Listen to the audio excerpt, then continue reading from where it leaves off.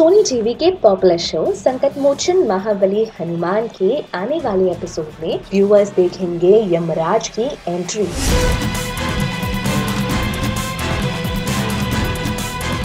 हमने अब तक देखा कि किस तरह भगवान श्री राम जी के मामा श्री, यानी युद्ध जीत पर कुछ गंधर्व हमला करते हैं। इसीलिए श्री राम जी अपने भाइयों और पुत्रों, यानी भरत, शत्रुघ्न और लव और कुश को इन गंधर्वों से युद्ध के लिए भेज देते हैं। भरत, शत्रुघ्न, लव, कुश पुष्कल और हनुमान जी सभी इस युद्ध पर निकल पड़ते हैं। लेकिन लक्ष्मण जी भगवान श्री राम की सुरक्षा हेतु रुक जाते हैं। तभी श्री राम जी को यह आभास होता है कि उस वाहन में हनुमान जी तो है ही नहीं। कुछ देर बाद हनुमान जी वहाँ आते हैं। कहानी की दूसरी तरफ़ स्वयं यमराज जी ब्रह्मदेव का एक गुप्त संदेश श्री राम जी तक पहुँचाना चाहते हैं। लेकिन जैसे ही वो श्री राम जी के महल में पहुँचते हैं, उन्हें वहाँ हनुमान जी दिख जाते हैं। इसीलिए उन्हें ऋषि का रूप धारण करना पड़ता है। इसके बाद हनुमान जी माता सीता की मूर्ति से आशीर्वाद लेकर लक्ष्मण जी से ये वचन लेते हैं कि वो श्री राम जी की बहुत ही अच्छी तरीके से सुरक्षा करेंगे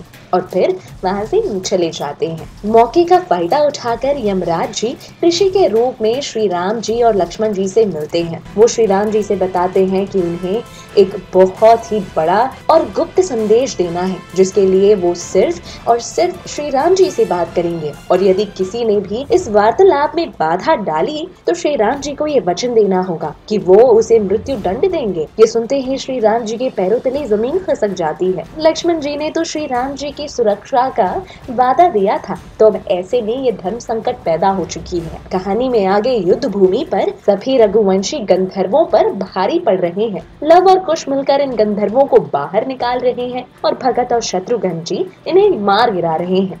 लेकिन तभी हनुमान जी देखते हैं कि पुष्कल जी गायब हो चुके हैं। अब इस कहानी में और क्या होता है? क्या यमराज जी के शर्त की वजह से लक्ष्मण जी की जान को खतरा है? क्या श्री राम जी लक्ष्मण जी को मृत्यु दंड देंगे?